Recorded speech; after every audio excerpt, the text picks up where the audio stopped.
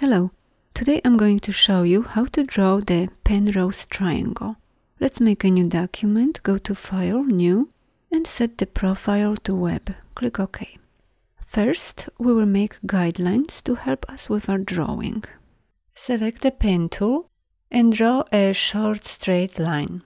Press the Ctrl and C buttons to copy it and Ctrl F to paste it in front.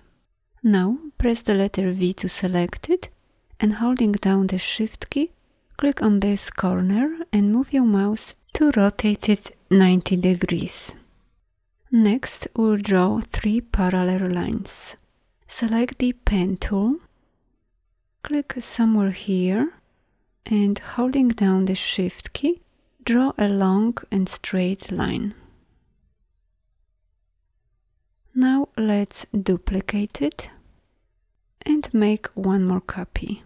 Next, select all of them and we will copy and rotate them around the center of this cross mark. Go to the Rotate tool and holding down the Alt key, click on this intersection to set the rotation point. Type 120 for the angle and click Copy and press Ctrl D to make one more copy. Now go to View, select Guides and choose Make Guides. Let's lock this layer and create a new layer. Now we will get rid of the stroke and change the fill to whatever color you like. Next, select the pen tool and click on this intersection. Now click on this one. Then move over here to this one. Now this one, that one, this one, and click on the beginning intersection to close the path.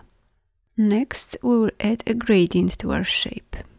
Go to the gradient panel. If you don't have it, go to window and select gradient.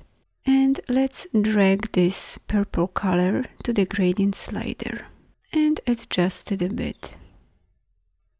Now let's zoom in and check if all the anchor points are lining up with the guidelines.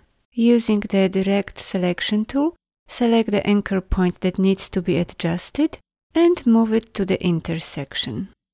And let's move this one up. This one down. This one is okay. And this one is fine too.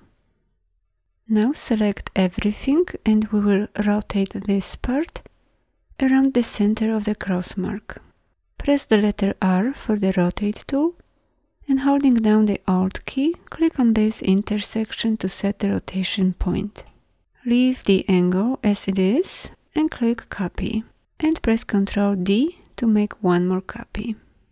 Now let's turn off the visibility of layer 1. Select everything and let's resize it. Thanks for watching, bye bye.